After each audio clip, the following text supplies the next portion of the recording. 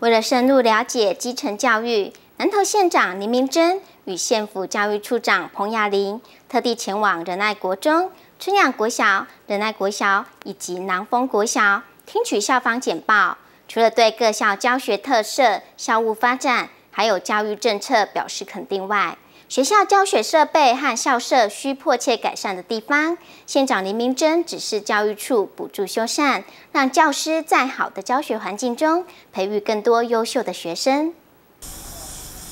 林县长一行首先来到仁爱国中，了解学生营养午餐以及厨房环境，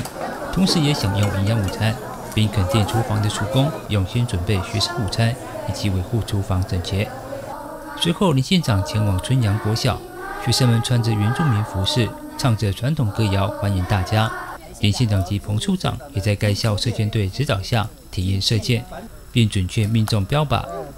在仁爱及南丰国小时，林县长除了聆听两校校长简报之外，也参观幼儿园上课情形。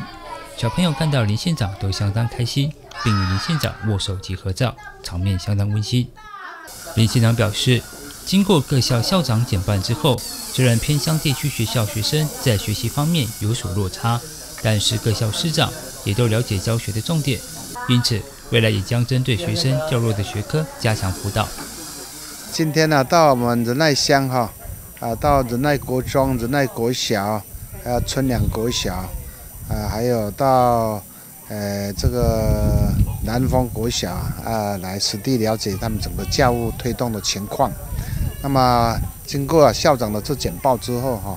那虽然我们偏乡地区的学校哈，当然小孩子啊，在学习方面呢，呃是在英文、数学方面都比较偏低一点的哈啊，但是校长啊，还有老师啊都已经知道这个重点在哪里啊，啊，所以呢都啊对这个比较比较成绩比较差的哈，都来做加强辅导啊，啊，这是个正确的了。